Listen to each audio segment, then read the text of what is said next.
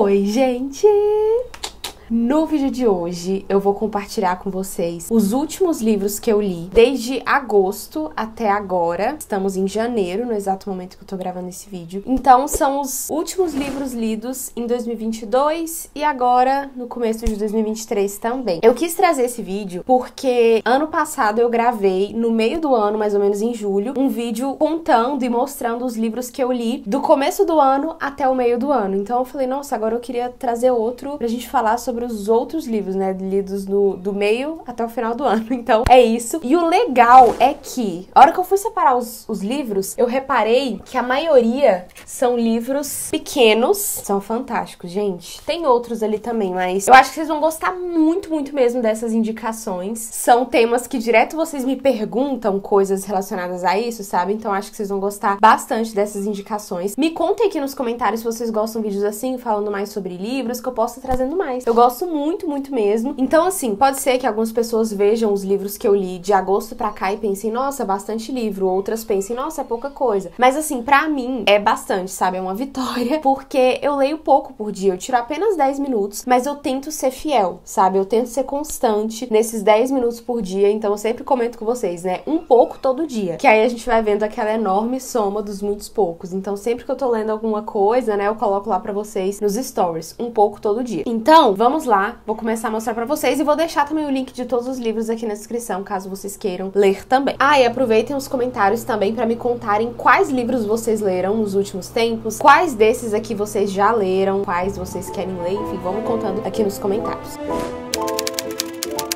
Começando por esse, a virtude da ordem. Se não me engano, eu falei sobre ele no vídeo anterior, naquele outro vídeo, né, que eu mostrei os livros, mas eu acho que eu ainda não tinha terminado. Eu falei com ele, eu falei, acho que eu tava começando a ler, alguma coisa assim. Assim, mesmo que eu já tenha falado dele lá, na, eu falei, não, preciso falar de novo, porque pensem num livro fantástico, pensem num livro, assim, sensacional. A virtude da ordem. Dentre as virtudes que toda pessoa deve ver, há uma, há uma prosaica envergonhada que é a chave das outras, vistosas e muito cotadas. Chama-se modernidade modestamente ordem. Muita gente menospreza essa virtude, nunca nem ouviu falar, nunca nem estudou, ou acha que é, é simplesmente uma organização material. Passa sim por uma organização material, mas é algo muito mais profundo. É você saber ordenar toda a sua vida, sabe? Ai, gente, sério, é aquele livro assim que todo mundo deveria ler. Na verdade, todos esses que eu vou falar aqui são, são desses livrinhos assim que eu falo, nossa, todo mundo deveria ler sabe? Então, se você se sente uma pessoa desordenada, se você não consegue colocar as coisas no lugar, tanto materiais quanto assim na cabeça, no coração, se a sua vida às vezes tá um pouco desajustada em algumas coisas, talvez esteja te faltando a virtude da ordem. Até quando a gente tá se preocupando muito em excesso com coisas que não fazem sentido, talvez a gente tá muito desordenada, sabe? E a virtude da ordem nos ajuda muito, muito nisso. Para quem tem dificuldade com tempo, né, rotina e tudo mais, ajuda muito, muito também essa leitura. O próximo que eu li, que eu acho que é um dos meus favoritos, é esse aqui, ó. A Alegria de Viver. Também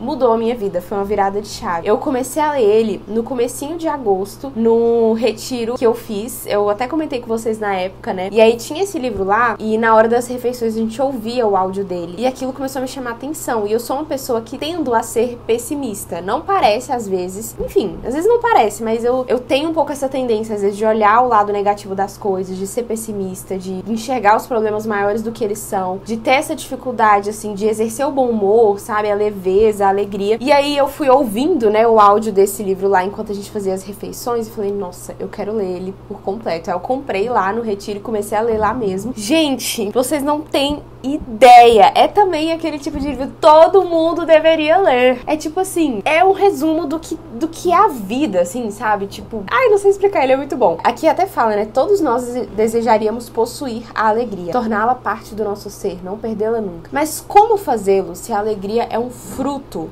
das nossas atitudes? A resposta você encontra aqui nesse livro. Tem coisas que eu li aqui que eu lembro todos os dias, sabe? Que eu não esqueço. Que são coisas que eu vou levar pra vida. De verdade, isso daqui nem, de, nem deveria se chamar a alegria de viver, deveria se chamar como se deve viver. É tipo isso. Fantástico, fenomenal. E é do Dom Rafael, né? Rafael Liano Cifuentes. Gente, ele tem um bom humor. É cada história que ele conta, assim, tem outros livros dele. É, tem mais um livro dele ali que eu li. Ele conta umas histórias muito legais e muito envolventes diferente, sabe? É, é maravilhoso, maravilhoso. E aí, o próximo que eu li foi esse, Otimismo. Eu já fiquei tão empolgada com a alegria de viver que eu já fui logo para ler esse daqui. Também de, de Rafael Liano Cifuentes. E eu achei ele até bem parecido com a Alegria de Viver, assim, obviamente é diferente, né? Mas aqui entra em outros, outros pontos. Aqui é bem bacana porque fala um pouco do otimismo, não como essa coisa assim, tipo, um pouco de superstição que as pessoas têm hoje em dia, né? Ai, de, de ser positiva, não sei o que, como se fosse uma superstição. Mas aqui fala de fato da virtude do otimismo. Aqui fala, né? O otimismo é uma virtude que transmite certo brilho indizível ao que o otimista fala. E eu até tava lembrando, né? A gente tem falado muito no clube da autoestima sobre se acender, iluminar, se gastar, sobre ser luz, né, para as outras pessoas. E a virtude do otimismo é uma dessas virtudes que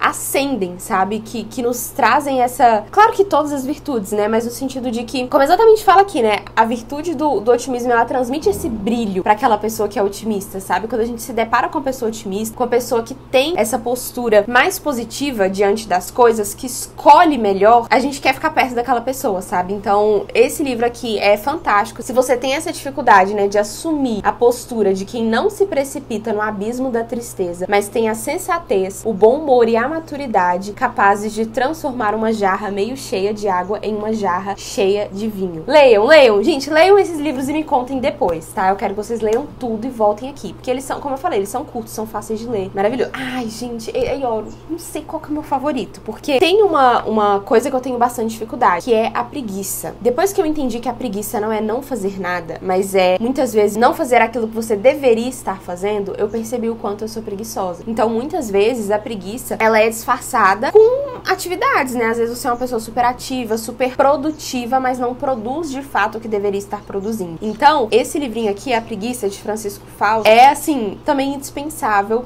para quem quer ter mais, mais disposição para fazer as coisas. Eu tenho refletido muito sobre isso. Às vezes a gente quer ter motivação, ter disposição, ter mais ânimo, e claro que muitas vezes a falta disso tá ligado à falta de bons hábitos, falta de exercício, falta de vitamina, falta de uma boa alimentação. Tudo isso às vezes faz com que a gente tenha mais sono, tenha mais desânimo, e aí talvez possa parecer uma preguiça, né? Que não é. Mas quando é preguiça, a preguiça a gente combate ela com o amor. A pessoa que ama que ama aquilo que faz, que ama os outros principalmente, né, que, que faz as coisas pelos outros porque ama, gente, aquela pessoa ela ganha uma disposição que é fora do normal, que assim, que, que não necessita de, de vitaminas, no sentido assim, de, o segredo principal não tá ali, sabe? Então eu tenho refletido muito sobre isso. É igual quando a gente tem uma viagem que a gente quer muito fazer e aí, tipo, toca o despertador 5 da manhã, a gente já pula da cama. Se é que a gente dormiu à noite, porque a gente fica toda hora, nossa, quer que chega o um momento e tal, e vem aquela disposição, aquele ânimo. A gente não fica com preguiça quando a gente quer muito algo. E aí que a gente precisa adotar essa postura para as coisas da vida, né? Assim, fazer as coisas com vontade, com amor. Enfim, não vou entrar a fundo nesse assunto. Eu quero um dia, talvez, gravar um vídeo só sobre isso, sobre o segredo da motivação, o segredo da disposição. Mas isso é algo que eu ainda tenho refletido, tenho estudado, tenho pensado, tenho buscado viver, tenho.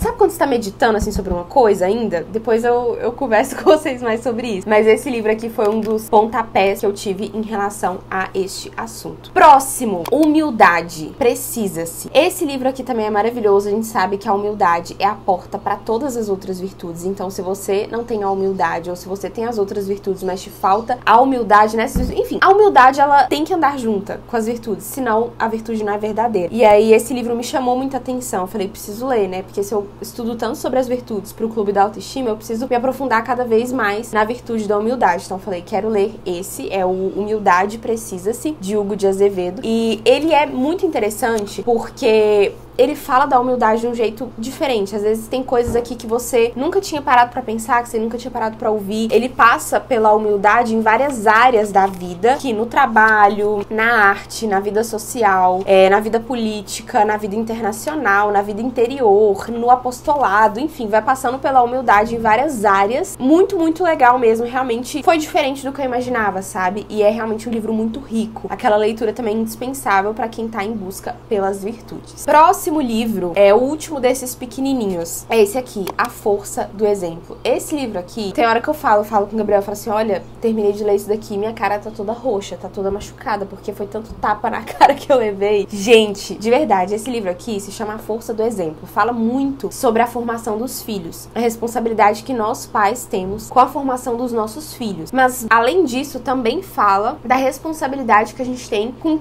qualquer outra pessoa, assim, no sentido de que, sei lá, se você tem alguma responsabilidade social, se você é professor, se você é, educa criança, se você educa adulto, se você tem seguidores na internet que você tá passando algum conteúdo, você tem uma responsabilidade ali de formação e o seu exemplo, ele tem, tem uma força, né? E aí, como você tem agido? Como tem sido o seu exemplo? E aí, isso me pegou demais, sabe? Eu fiquei, assim, muito reflexiva a partir desse livro, aprendi muita, muita coisa, tanto pra, pra maternidade, né, pra minha vida, com os meus filhos, né, com o Antônio já desde a barriga, com o Bielzinho, enfim, quanto para esse lado também da minha responsabilidade com vocês, né, que me seguem, minhas alunas do clube e tudo mais, o quanto a minha vida, ela tem uma força, né, o exemplo ele tem uma força e como tem sido esse meu exemplo, sabe? De fato eu tenho buscado dar o meu melhor, de fato eu tenho buscado dar tudo de mim, né, porque algo me foi confiado, então se me foi confiado, me será cobrado também. Então, enfim, esse livro é realmente maravilhoso. Se você é é mãe, pai, se você cuida de alguém, se você tem essa responsabilidade, né? Às vezes ainda não, não é mãe e tudo mais, mas tem uma certa responsabilidade, é professora ou educa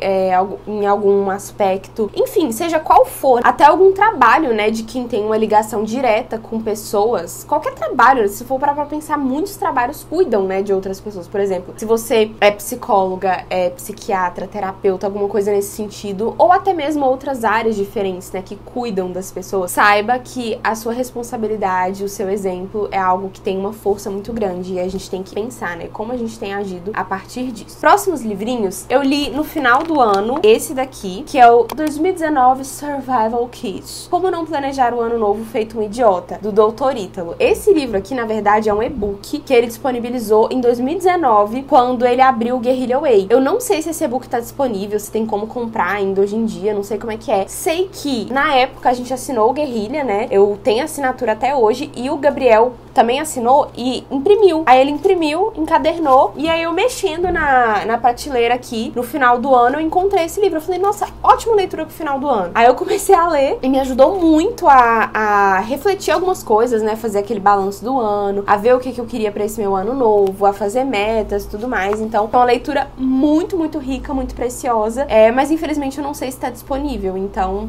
é isso. Só deixar aqui a indicação, né? No sentido de que eu li e gostei muito, mas não sei se está disponível. Na verdade, eu já tinha lido, tá? Eu li ele lá em 2019, aí eu falei, vou ler de novo. E realmente tinha muita coisa que eu lembrava, mas que foi legal dar aquela, aquela revisada, aquela recapitulada. Realmente é uma preciosidade, uma riqueza. E aí, o livro que eu tô lendo no momento, mas ainda não terminei. E pensei num livro que eu estou tendo dificuldade de ler.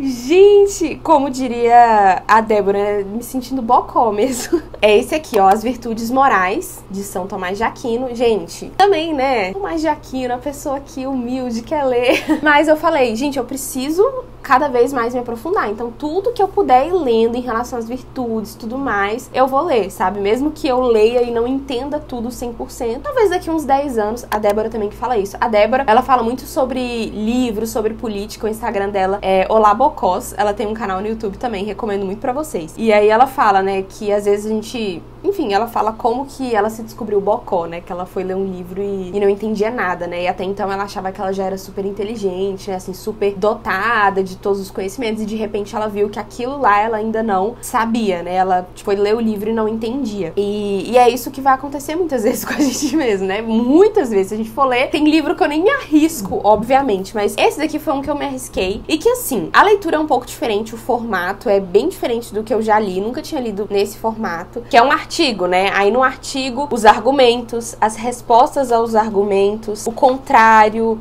enfim, várias coisas, mas é ele destrinchando mesmo mesmo em relação às virtudes morais. Assim, no começo eu demorei a, a pegar, mas agora eu tô pegando e realmente tem sido muito, muito interessante para mim. Muito interessante mesmo. Eu grifei bastante coisa, assim, que, que foi me dando aquela virada de chave, que foi linkando com outros livros mais simples que eu já tinha lido. E aí, pegando esse daqui que é mais profundo, eu fui linkando, sabe? Ah, então por isso que é aquilo lá, sabe? Tipo, algumas coisas assim foram fazendo sentido. Mas eu sei que, Deus quiser, daqui uns 10 anos, quando eu ler ele de novo, eu vou entender mais, sabe? É aquele tipo de livro que a gente lê, algumas coisas a gente entende, outras a gente fica um pouco.